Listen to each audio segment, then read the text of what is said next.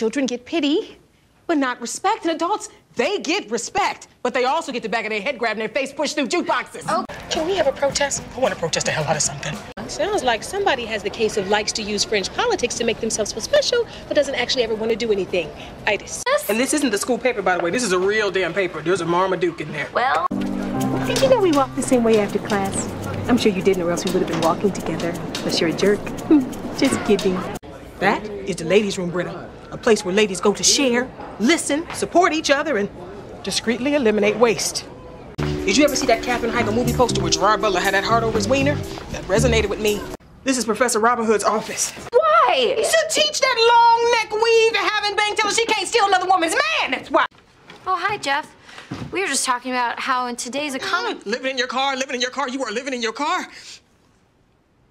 I'm sorry, I'm, I'm not good at being coy. that boy is flat out prescient. He can read our minds. Oh. I know what you're gonna say. You watch my movies on the website. He's a witch! Get him! You telling my future right now, you evil wizard? What do you need a paper for? You knew what was gonna happen yesterday, you Middle Eastern magic eight ball. Uh, this is Spanish 101. I, I know how to say hello tomorrow on that tables are female. That's the... Annie, being a virgin in this day and age is something to be proud of. You're like a unicorn. So, why do you hate me and Jesus? Oh, what is that interesting smell? It's a traditional Muslim dish. L looks delicious. Mm -hmm. I'm guessing as a woman, I won't be allowed to eat that. that that's too bad.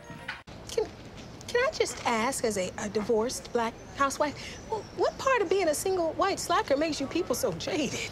Oh, it's from that cook with the long beard in the cafeteria. I guess when he said, I'm gonna get you. Um, he's meant chocolates. We gotta find this person for Abed. Unless it's a boy, then we have to find them for Jesus. But either way, this is going to be fun. Ginny's boyfriend is a white guy that's almost identical to Abed. Name is Joey, and that's why the sketch was in Troy's book. So does that make Abed Brown Joey? If you want to get racist about it.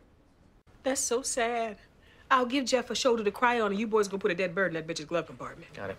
I'm Shirley, and that's Elijah, like the prophet, and Jordan, like the 14-time NBA All-Star. Oh! I'm sorry. You're, you're, like a black ghost.